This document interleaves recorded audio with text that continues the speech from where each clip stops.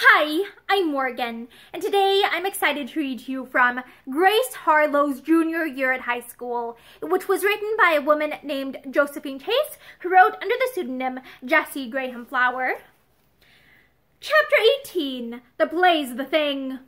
Excitement ran high in the three lower classes one morning in early February when Miss Thompson requested that those interested in the production of a Shakespearean play go to the library directly after school, there to discuss the situation. When the gong sounded dismissal, about sixty girls with dramatic aspirations made for the library. The Phi Sigma Tau entered in a body. They had decided at recess to carry away as many laurels as possible, providing they could get into the cast. Miss Tebbs, teacher of elocution, Miss Kane, teacher of gymnastics, and Miss Thompson stood at one side of the library, talking earnestly as they noted each newcomer. Oh, look, whispered Jessica, clutching Nora's arm. There's Eleanor and her crowd. Then look out for squalls, replied Nora.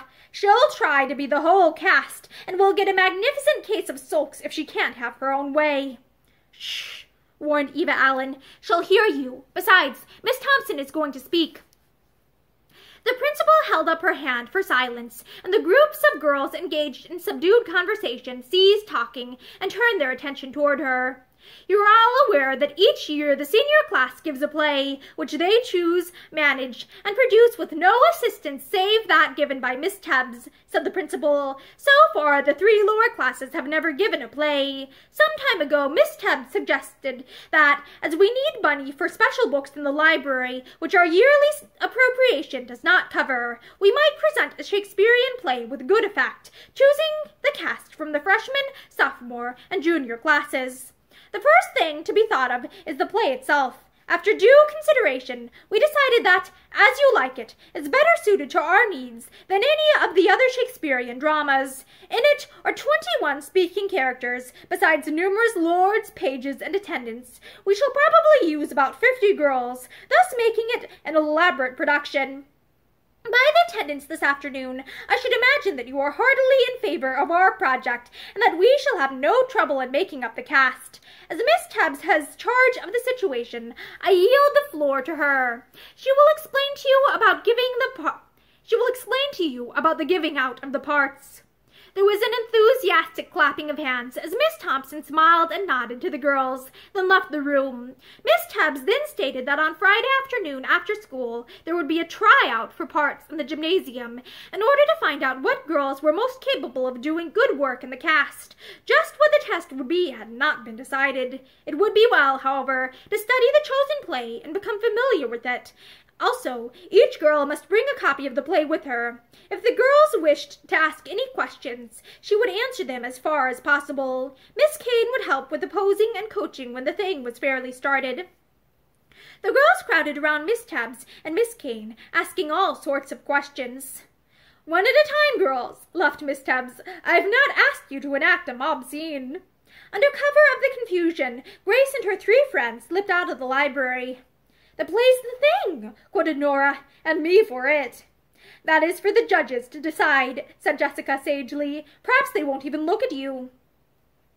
Do you think anyone could see my Irish countenance and fail to be impressed? demanded Nora. Really and truly, Nora, the more you travel with Hippy, the more you talk like him, remarked Grace. I consider that a compliment, replied Nora, laughing. Hippy says awfully funny things. Look at our little Anne, said Jessica. She is actually dreaming. Tell us about it, dear. I was thinking of the play, said Anne dreamily. I do so want a part, if only a little one. You'll be chosen for Rosalind, see if you aren't, predicted Grace. Oh, no, said Anne. Someone else will be sure to get that. Besides, I'm too short. But, Anne, you've had stage experience, said Jessica. You ought to, you ought to get it. Not in a Shakespearean play, replied Anne, shaking her head. I might not do well at all with that kind of part. Never fear, you'll be the star before you know it, said Nora. By Friday, there was nothing on the school horizon save the cherished play. Before school, at recess, and even in classes it was the topic of the hour. To the eager girls the day seemed particularly long, and a heartfelt sigh went up when the dismissal gong rang. As for the four As the four chums hurried toward the gymnasium, Anne suddenly caught Grace by the arm with a faint gasp of surprise. Glancing quickly down at her friend to ascertain the cause of Anne's sudden agitation, Grace saw her friend's eyes following the figure of a tall, distinguished-looking man who was just disappearing down the corridor leading to the, to the gymnasium. What's the matter, Anne? asked Grace. Do you know that man?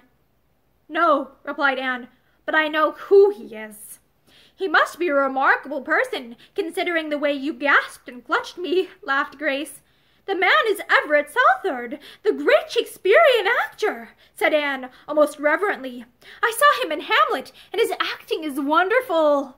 No wonder you were surprised, said Grace. It fairly takes my breath. I've seen ever so many pictures of him, and read magazine articles about him. What do you suppose he is doing in Oakdale, and at the high school, of all places? Time will tell, said Nora. Then she suddenly clasped her hands. Oh, girls, I know! He is here for the tryout! Why, of course he is, exclaimed Grace. Now I remember Miss Tubbs showed me a magazine picture of him one day last year, and told me that she had known him since childhood. Besides, he's playing a three-night engagement in Albany. I read it in the paper last night. It's as plain as can be. Miss Tubbs has asked him to run up here and pick out the cast. Good gracious, said Jessica. I shall retire in confusion if he looks at me. I won't dare aspire to a part now, and I had designs in the part of Phoebe.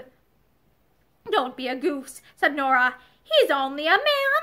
He can't hurt you. I think having him here will be a lark. Won't some of the girls put on airs, though? There he is, talking with Miss Tubbs now. The girls entered the gymnasium to find there to find there nearly all of those who had attended the first meeting of the library, increased by about a score of girls who decided at the last minute to try for parts.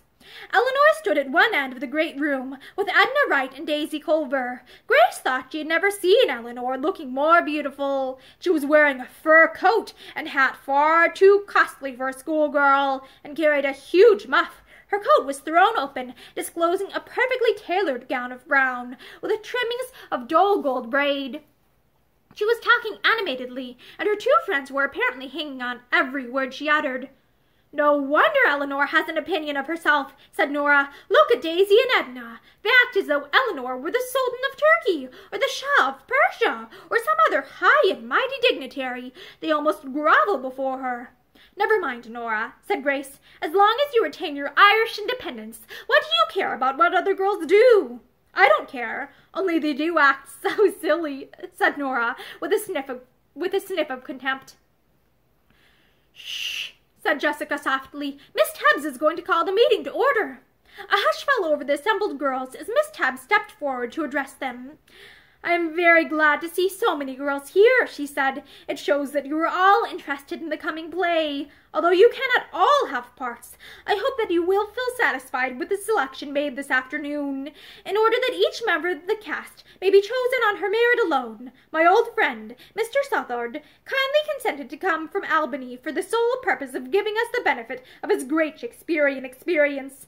Allow me to introduce Mr. Everett Southard he was greeted with a round of applause, and after bowing his thanks, the eminent actor plunged at once into the business at hand. He spoke favorably of the idea of an all-girl cast, saying that each year many girls' colleges presented Shakespearean plays with marked success. The main thing to be considered was the intelligent delivery of the great dramatist's lines. The thing to do would be to find out what girls could most ably portray the various characters.